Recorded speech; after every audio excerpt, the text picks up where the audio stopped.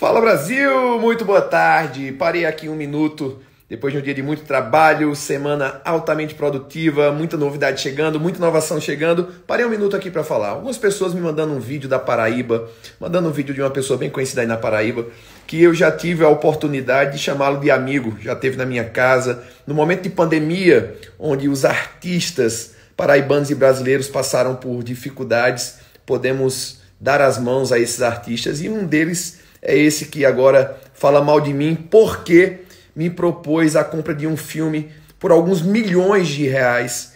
E eu gostei da ideia, sou fã, acho ele um gênio. É, e por ser amigo, eu falei, cara, vou estar junto de você. Mas aí a minha empresa tem compliance, tem governança, tem jurídico. Ao pedir contratos, ao pedir quem é diretor, produtora, ao pedir os documentos necessários para fazer o investimento, ele não tinha. Agora esse cara vai esse cara vai nas redes sociais falar que a minha empresa não presta, que está sabendo de coisas. Engraçado que ele tinha investimento comigo, a família dele tinha investimento comigo, e ele retirou o capital comigo com raiva, porque eu não investi milhões em uma ideia. Eu não compro ideias. Né? Eu tenho uma empresa séria, a minha empresa tem diretoria, a minha empresa tem jurídico. Então nós investimos em negócios negócios eu invisto, ideias não. Ideias a gente aplaude, ideias a gente apoia, mas a ingratidão desse ser humano é tamanha que ele demonstra o seu real caráter. Algumas pessoas já tinham falado dele para mim, mas eu não acreditei. Né? Aí ele está se demonstrando agora nas redes sociais o seu caráter. Então, se a empresa está inadimplente com ele, se não pagou, me mostra. Me processa, amigo. Agora eu, eu e minha empresa vai lhe processar por difamação. E se falar mais besteira é por calúnia também, e aí é crime. Vamos ver quem prova o quê, tá bom?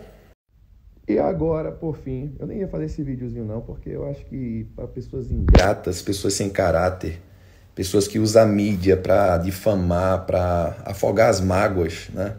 Pessoas são pessoas ingratas, pessoas infelizes, né? frustradas. Mas eu vou fazer um desafio aqui. Tem um falando mal de mim.